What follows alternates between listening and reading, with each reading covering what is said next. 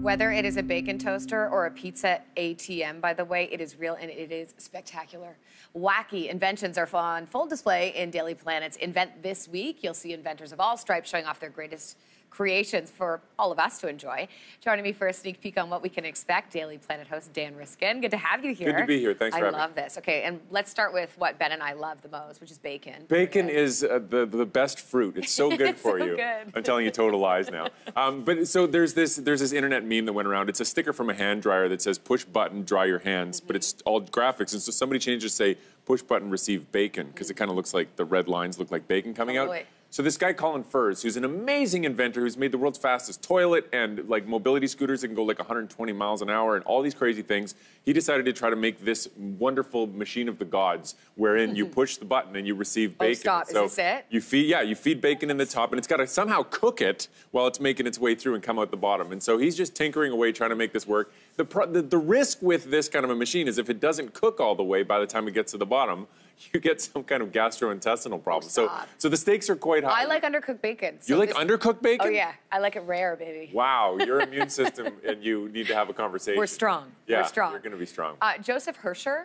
Uh, yeah, this Talk to me about him and his like what his daily routine. So is. his daily routine is He's an inventor. He's an inventor. He's originally from New Zealand, so he's got the quirky accent. But then he moved to Brooklyn and got a hipster mustache. So he's likable for like eight different reasons. And the, the biggest of those reasons is what he does to make these Rube Goldberg machines. So a Rube Goldberg machine is something where something that's very simple, you make it as complicated as possible. So here he's, you're seeing him with one where that's helping him get ready in the morning. It irons his clothes. It helps put his shoes where they need to be. It's pulling the books off the shelf. It's going to put his hat on his head, but he's got to duck at the right moment so he doesn't get hit with the chandelier. So he builds this thing. It takes him months to figure out all the parts. It's very creative. It's using household items, but it's got to work properly. And then what he does that none of the other Rube Goldberg machine makers, what he does is to interact with it. So he makes almost like a dance routine where he gets ready just right, and the last thing that happens is the hat pops onto his head, and the whole thing has to work absolutely Oh, no way. perfectly. He's got to be in the right spot. And it's not just him, he does it with other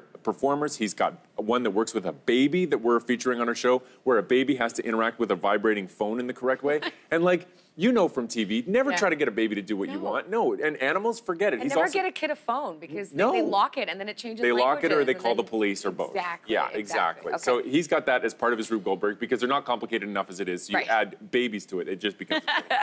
Add a dog in there. Who cares? Yeah, exactly. Uh, ATVs uh, may become obsolete because of the rock dog. well, the Rock Dog is. I don't know that we're going to see these becoming the widespread replacement for ATVs, but this is a guy. He's a farmer in Nebraska. Nebraska. This is not where we shot this scene. Nebraska doesn't look like that. Nebraska's flat Right. with a lot of like sunflowers and fields and stuff like this. And he's a farmer, and he's actually built the engine on this is a Oh, wow. diesel engine that's modified to take sunflower oil, and it hmm. runs on that. But this thing can extend, hmm. it can shorten, it No. can lift its four wheels independently Stop of one it. another. So it's built. It's called a rock crawler. It's built to go up things that you and I would have a difficult time climbing with our hands and feet. Like it, Right. it, it's crazy. And there are these competitions where people try to climb these things. And what makes this one different is that it is completely custom made. He made it himself. And the fact that he's from Nebraska and he's actually made it road legal in Nebraska so he can drive around Really? it. He gets pulled over all the time because cops all want to know what the heck it is. Well, sure. Yeah, I, I, yeah. I put that on my Christmas list. Okay. Exactly. Now, another pretty wild invention. Apparently, we, we can take a listen to this one, so let's do that. yeah, sure.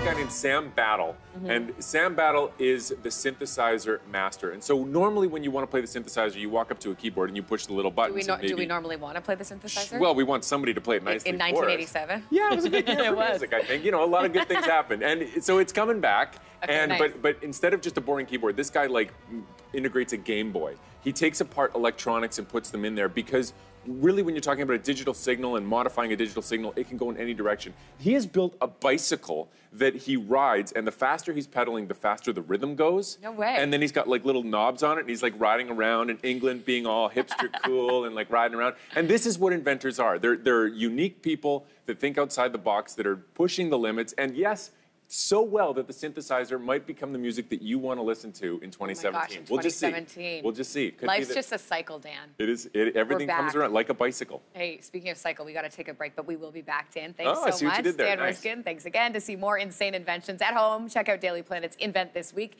which runs from February 6th to the 10th at 7 p.m. Eastern on Discovery. We'll be right back.